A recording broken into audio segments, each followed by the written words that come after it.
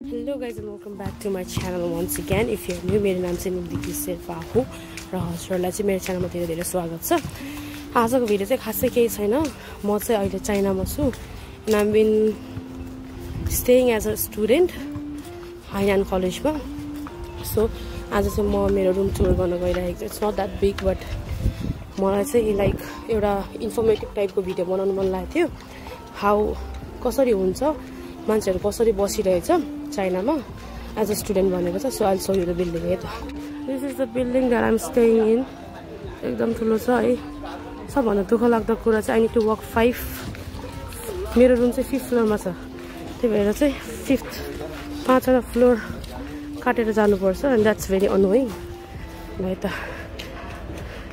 केटाकेटीको चाहिँ कस्तो छ भन्दाखेरि यहाँ चाहिँ यो चाहिँ खासमा केटीको बिल्डिङ हो बट देन केटाहरू जो जो छ लङ ट्रेनिङ गर्नेहरू उनीहरू पनि यहीँ बस्छ।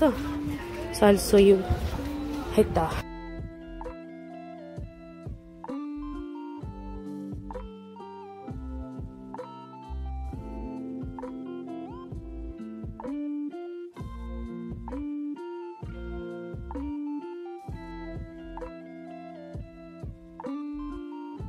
So this is the bathroom है तातो पानी आउँछ। सानो चाहिँ एकदम सानो छ है। त्यसपछि वासरुम एकदम सानो छ।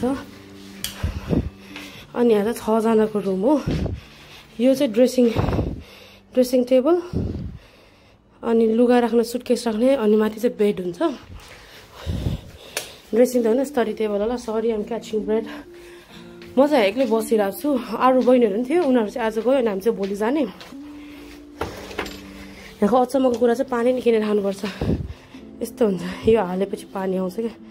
यो आफूले रिचार्ज गर्न मिल्छ आफूलाई कति इच्छा लाग्छ त्यति so yeah it is kind of messed up but then यो मेरो study table with which doesn't look like study table this is my bed chair अनि लुगा सुकाउने यता है यो चाहिँ सबै कलेजको बिल्डिङ हो होस्टेल सबै होस्टेल हो है इट्स भेरी बिग खाना खानालाई खाना खानालाई म यहाँबाट यस्तरी गएर यस्तरी गएर बडे यतारै गएर गएर गएर गएर गएर गएर गएर गएर गएर गएर पुरा क्यान्टिन पुग्छ है fifth floor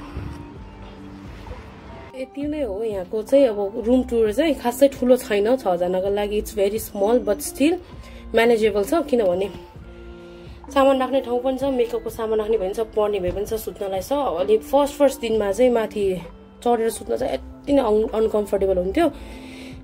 So am catching but then यहाँको चाहिँ मान्छेहरूले एकदम साह्रो ऊ युज गर्छ नि त डस्ना हो कि होस्टेल भनेर डस्ना साह्रो दियो आई डोन्ट नो है बट यति साह्रो चाहिँ डस्ना कि सुत्नलाई जिउ नै दुख्थ्यो किनभने उता अब यस्तो सा साह्रो ढुङ्गा जस्तोमा सुतेको बानी थिएन।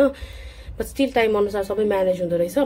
फेरि प्लस मेरो त जहिले एक्लै एउटा रुममा बसेको बानी भएर रुम सेयर गर्न चाहिँ मलाई अति नै अनकम्फर्टेबल लागेको थियो। बट देन एडजस्ट गर्नुपर्छ है।